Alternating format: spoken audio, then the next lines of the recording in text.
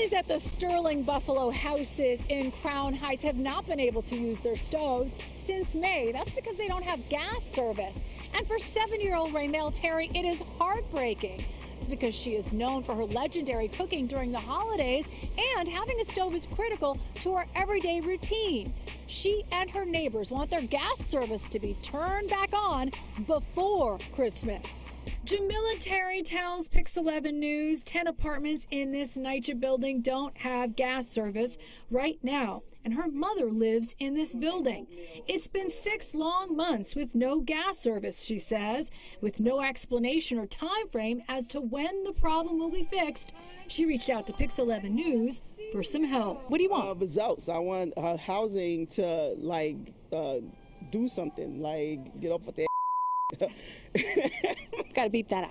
Pix 11 News visited Tuesday afternoon and Terry showed us her kitchen. She turned on her hot plate and 10 minutes later, we were still waiting for the water to really heat up. It's been 10 minutes and I can, look, I can put my hand in there.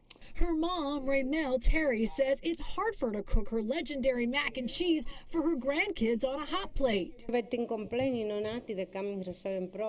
Next door, we visited Aso Jimenez's kitchen. She has two hot plates, and she says with no stove, making her famous pork chops isn't easy. Her brother Basilio was helping her chop the carrots, which should take minutes to cook. Jimenez says takes hours. Watch out. These families are not alone in their frustration. As of Tuesday, 46 NYCHA developments have gas outages across the city. That's according to NYCHA's own website. Pix 11 reached out to NYCHA, and a spokesperson tells us they're on it.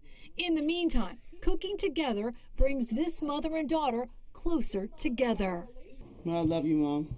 I love you too, And we'll make sure this Brooklyn grandmother and all these families get their gas service restored. And if you have a story, do what they did. Just reach out to us at Monica Morales TV on Facebook, Instagram, or Twitter. We're making it happen in Brooklyn. Monica Morales, Pix 11 News.